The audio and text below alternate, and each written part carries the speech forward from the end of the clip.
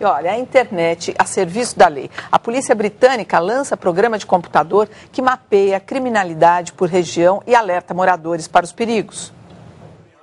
O novo sistema entrou em operação nesta semana, na Inglaterra e no país de Gales, e pode ser acessado de qualquer computador.